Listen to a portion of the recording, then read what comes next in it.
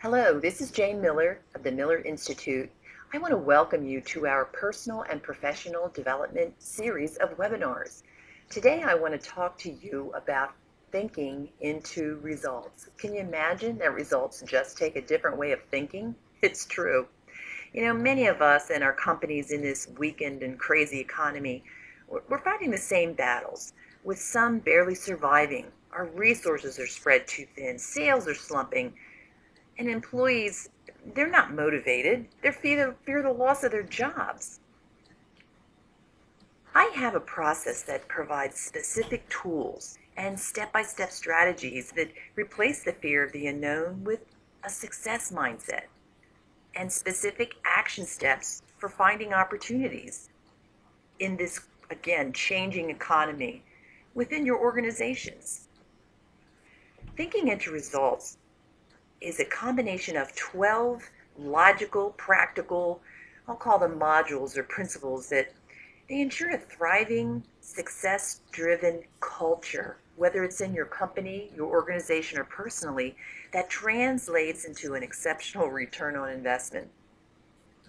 Now, I believe everyone has the power to change and become more productive and creative at work and at home. We just need to learn how to apply the power of our minds. Our mind is a beautiful piece of energy, and we don't use it correctly. So, combining the power of our mind and our own unique gifts will fully maximize the potential that's within every one, one of us. Boy, what a gift to give. I want to talk about the different modules and principles that thinking into results brings. And I promise you, this process will unleash the, the, potential of our most important asset, that of our people. So let's begin. Principle number one. We talk in principle number one about a worthy ideal. And really the business principle translates into goal setting and achieving. Well, the advantages of of this is it's important to having have growth goals that inspire people. A lot of programs teach goal settings, and I always had a goal setting program that explained how to make goals that promote quantum leaps. Now, most of us choose goals that we think we can do, which really only means you go sideways. Goals like that don't inspire people. And then employees won't buy into the goals but the process of setting and achieving team goals, as taught in this principle, will allow everyone to align more easily with the company goals. So we encourage the people to think big and set both personal and professional goals so that they are more able to set big team goals. And the benefit is when employees have big goals that inspire them, it helps move the business forward, upward, not sideways because if the business is more successful, the effect, effect flows down. Salespeople sell more, employees feel more secure because they're working in companies that are growing and motivation soars. There's less turnover. And employees now see themselves as part of something bigger. You know, and personally, a worthy ideal, do you really want what you say you want? And do you really believe you're going to get it? As people study this module or this lesson, they begin to develop an awareness that deciding what you want and getting what you want are two completely different subjects. So here we'll begin to understand what a goal really is and what your belief system is around the goal. Then we build the right kind of goal and go get it. Principle two, the knowing and doing gap really this business principle is about return on investment, but let me flip to personal. So if people know what to do, why aren't they doing what they know how to do? Why do we continually do things that produce results we don't want? Well, really the cause of the problem lies in our paradigms or our habits, our ways of thinking. Those paradigms keep us running at 40 miles an hour when we could actually run at Mach 10. This module focuses on why we already know what to do to obtain greater results, but seldom actually do it. But once you understand how your paradigms function, you can start taking control of your thinking and the results that you'll obtain. Now, most training programs give information to people about how to do their job, but this process helps people implement what you already know, but we change the behavior to close the gap. Close the gap between what employees know and what they actually do. The benefits are from past, present, and future trainings. That systems, project management, Excel, timed, all those things. Once you understand your paradigms, all those trainings will be better useful. And when people understand the root cause of their non productive behaviors and how to change them, they become more productive. The company becomes more productive. The department profits increase. And as a result, you won't have to spend as much time training because employees already know what to do. Because they're more productive, they're happier. There's a measurable reduction in turnover and less friction between people. Doesn't that sound great? Let's move to the third principle, the power of the mind. The business principles surrounding this is about productivity and efficiency. You know, many programs or trainings might cause a temporary improvement in behavior.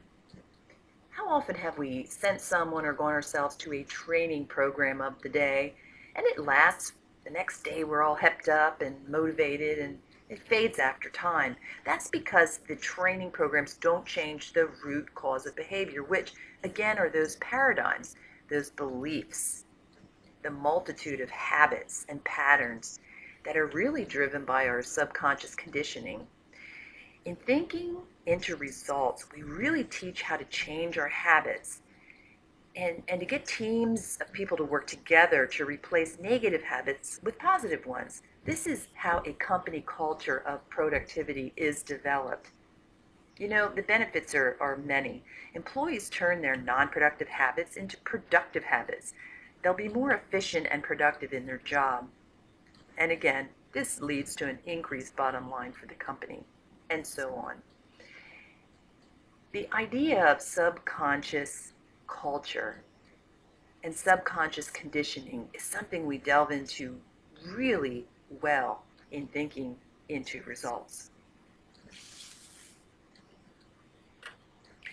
Let's talk about principle number four, our secret genie. so, what are you thinking right now? You know, Ralph Waldo Emerson said, We become what we think about all day long.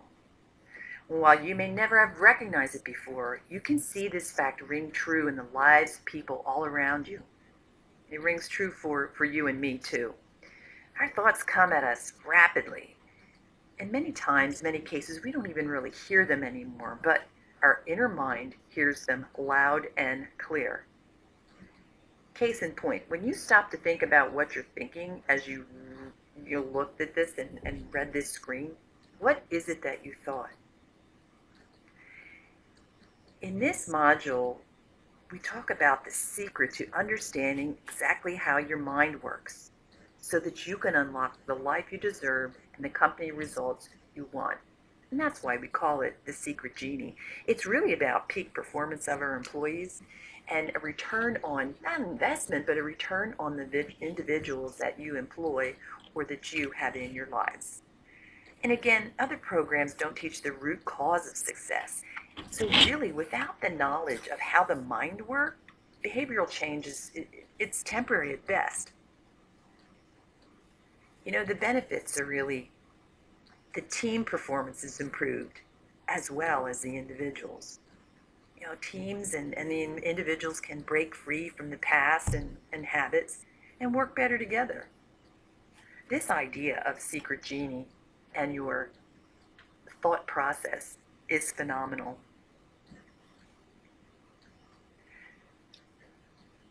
Principle five. The principle is itself thinking into results, and it's really about innovative and proactive thinking. You know, another way we could look at it is let's stop the outside noise Now, most people have been programmed to just allow the outside world to control, the way they think and act. They see certain situations and they just react to them through habitual patterns. But what we're teaching in this module is that we're going to learn to stay in charge of our internal world no matter what. No matter what people around us are saying or doing, um, the TV says, the news anchors, no matter what they say, no matter what the external factors are, we're going to teach you a method of how to sort and accept only what is going to be good for you and your company. So really, this concept teaches people how to think and to analyze their thinking. Isn't this beautiful? you know, we a lot of us went through high school and most of us through college and on and on and I don't remember a class on thinking. This process teaches folks how to think. It helps them realize their past results are a reflection of their past thinking. And to change what they're getting, they have to change their thinking take responsibility for their behavior and their results. If, if that's the only, just the one thing you get out of the whole program, not only for yourself, but your, your people taking responsibility for their own behavior and the results, can you imagine the success? Can you imagine the growth? And when you talk about teams, thinking helps teams come up with creative and innovative solutions to problems. And the employees, you know, they see problems as opportunities to strengthen the company, not as problems. We can use this to help move negative situations that have people stuck and maybe they persisted for a long while. Thinking into results takes these negative situations and moves them into desired results. Number six, Environment is but our looking glass. And really, the business principle is that we are creating powerful teams. You know, deep in the recesses of our minds, we have an opinion of ourselves. You, you have an opinion of you. This is referred to as your self image. And it's really a control mechanism that, that determines what comes into your life, whether it's great, good, or bad. It, determines how well we do in our life and how how we can relate to work and relationships and earning money and even our weight and our health. So this module focuses on how self-image determines how the rest of the world sees you and interacts with you. And it walks you through some powerful action steps to strengthen those aspects that you might feel lacking on the company end and in organizations, when employees look at this image, it'll help them to understand that to be more productive, you have to change the image of them uh, of themselves. You see yourself being more productive. Now that sounds pretty simple, but teams are strengthened because now we're cooperating with each other rather than competing. Because each individual's image uses the again those unique talents that we're all here with. You know, teams underlying have competition. So a benefit of looking at that self-image is that competition within the team is transformed to cooperation and working in harmony.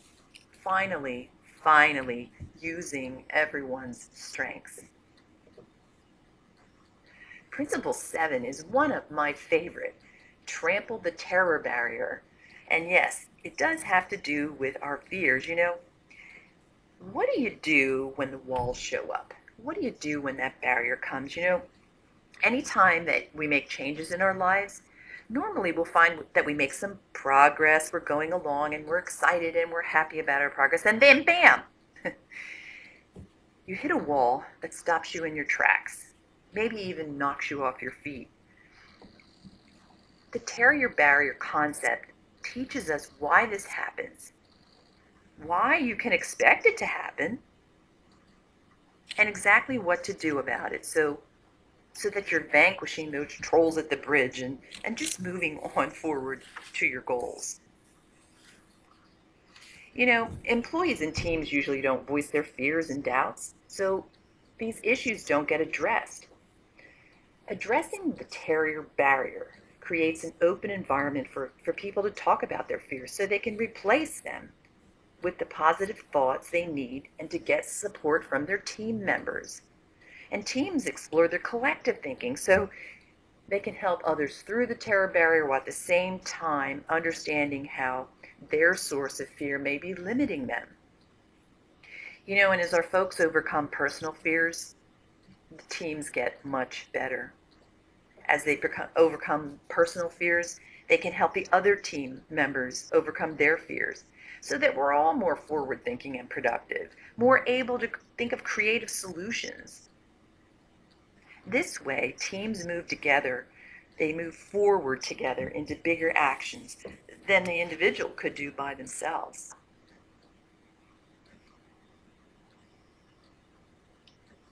The power of praxis is our principle number eight.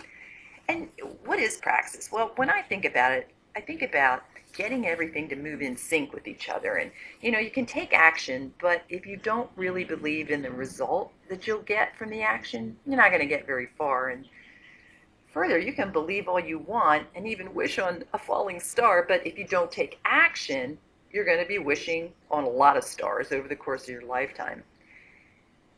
You'll learn to integrate this idea, this praxis, which actually is integration of belief with behavior. So we gain really quick ground in business, in our goals, in our income, personal, and so on. You know, the business principle around this is aligning actions and results with company vision. And I've done a lot of work with you all on strategic planning and visioning and aligning um, your employees' strengths with the company vision. And this is, is such an important module because employees finally see the connection between their beliefs and behaviors, okay? So again, we need to do both. Both. We need to believe it and we need to act. But when folks change from being non-productive and putting into place productive actions, the results match the company's mission and goals. Other pro- programs and you know training may not give this chance for personal growth because you know we, we sometimes focus on teaching different behavior. But if the employees are not aware of uh, the congruency of both their beliefs and their behaviors, they might not be able to practice the new behavior. And don't get too scared on this. We, we help people see the connection between their beliefs and behavior and the results. You know, if employees are responsible for helping to create the vision, they'll reach its potential. When you create cross functional teams and teams, you know, drawing people from every department, make sure that together they have the vision so that they can reach their potential and the results. That way they'll feel ownership for the team and they'll move them ahead. They'll create the results that they're capable of creating. And boy, we can sure create a lot. There's a magic word. It's really the magic of attitude. Because attitude and mindset produce high producing teams. Now, I'm not going to give it this one three syllable word away, although I just did. it's probably one of the most powerful words in, in the world of languages. And yes, just about every language has it. Without putting this word, this attitude into action in your life, you might make little incremental squeaks forward and go a little ahead, but you, the movements are not going to be responsible for you reaching your business and personal goals without this all important attitude. We'll show you how to implement it in your life. You know, many times with, with other training programs, we don't really know what attitude is. Perhaps we we know it's there's a good attitude and a bad attitude, but what is it really? Now, thinking into results this process gives us a very complete definition of attitude. Some may talk about the importance of having a good attitude, but we really explained what it is and how to change it. And this helps employees, of course, be more productive as they change the image of themselves and begin to cooperate more and more. How often have you said, if only the people or only this person could fix their attitude. Well, once we understand what it is, it can easily be changed. And then folks that are on teams become more productive because the team image changes.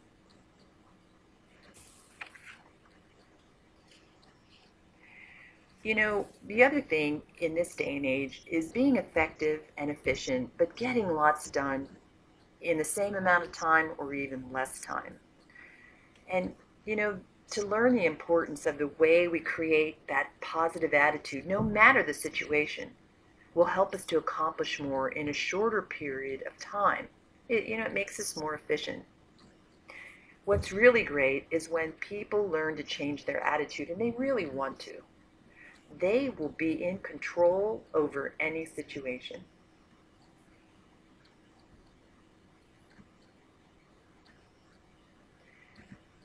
The most valuable person. This module and business principle has to do with effective leadership and it's not just for the bosses and the, the top dogs and the managers in the company.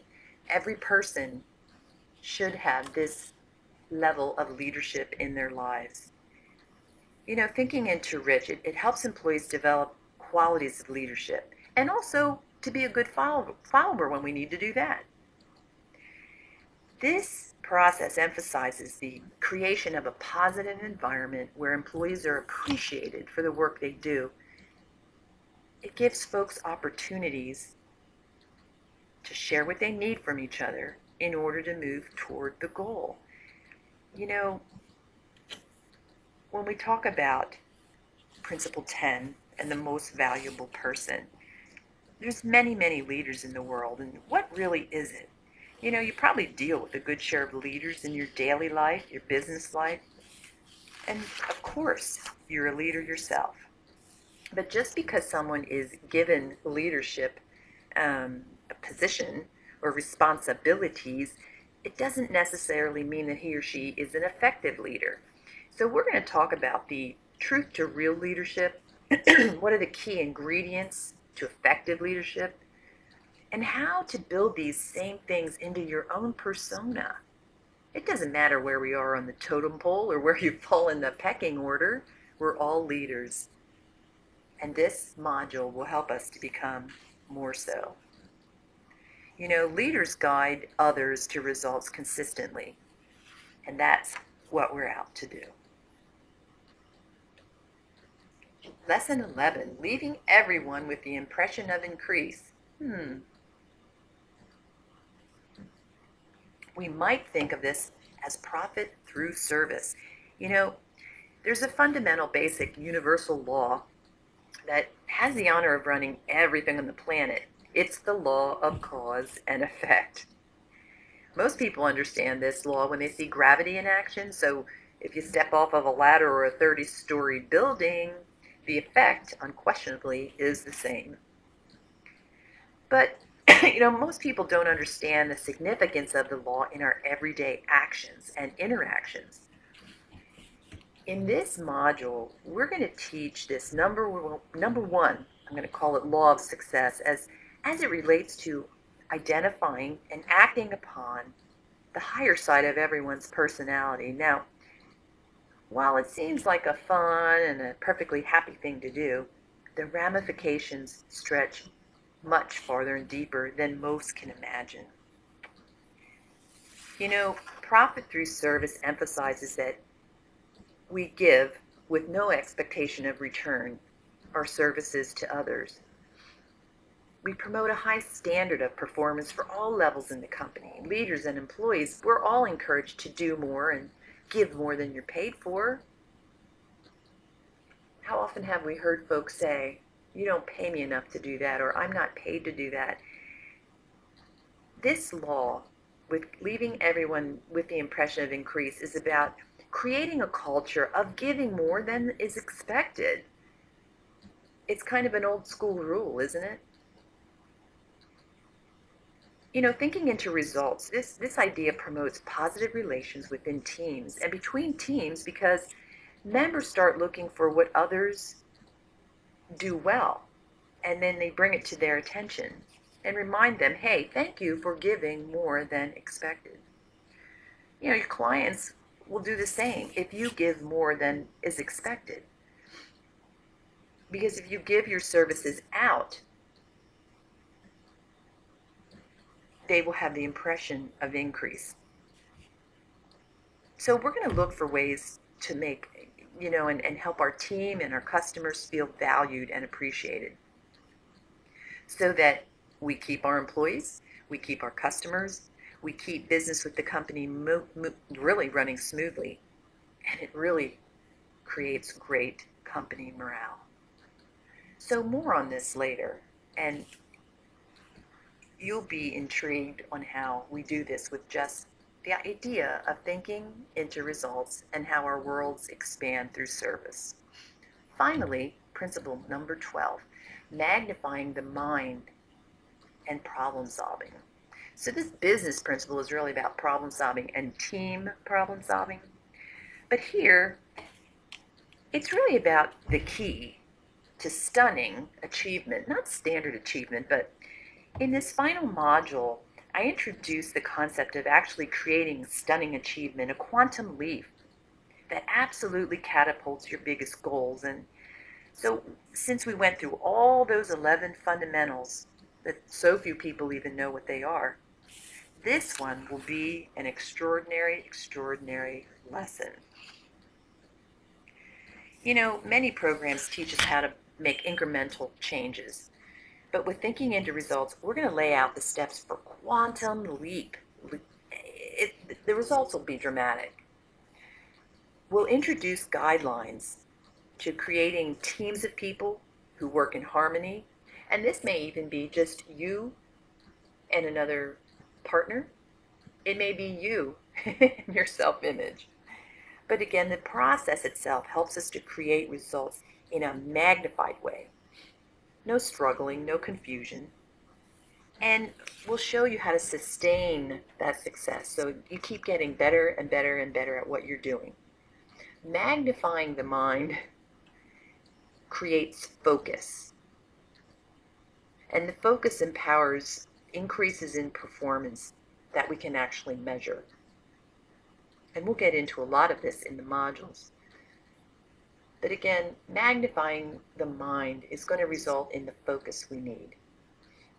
Because you know, if you believe you can do it, you can. Now, through my facilitation, a lot of you are already familiar with it. I like to bring a lot of energy. I like to bring stories and fun, but also keeping in mind to the bottom line. What is it you want? You know, if you can tell me what you want, I can show you how to get it. What's the method? And look here over on the right, or the left hand side here. Quite quickly, some of the things we use are repetition, personal study, group facilitation, masterminding, personal coaching, and then an annual follow along. So I've written here that thinking into results, it's not just something you skim over. I facilitated this in, you know, as few as 12 weeks or as long as 24 weeks with follow along. I meet with people either every week or every other week. And in between, it requires that people take the personal study. They'll be watching DVDs and doing some reading and doing things in a workbook. So it requires a commitment from you. If you're doing this program on your own, I'll act as your coach, your accountability coach, to follow along with you as well.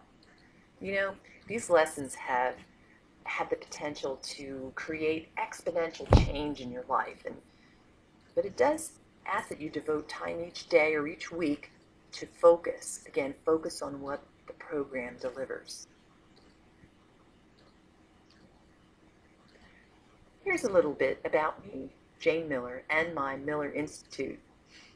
You know, I've been doing this for a number of years now, and no matter my path in life, I have always helped folks.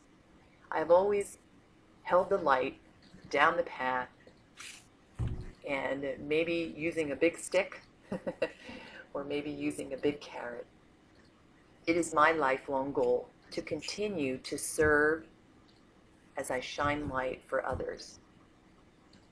So I'd like to talk to you more about how thinking into results can really make a difference in your life, in your business, in your company, in your personal life, in your organizations. So what we'll do next is have you give me a call at 1-800-540-2610. Send me an email, jane at millerinstitute.com. Or really run into me on the street if you're in my town. And let's talk a little bit more about these 12 principles and really try to figure out what is it that you want for you, your company, your personal life. Because if you can tell me what you want, I can show you how to get it. Thank you so much for spending your time with me today.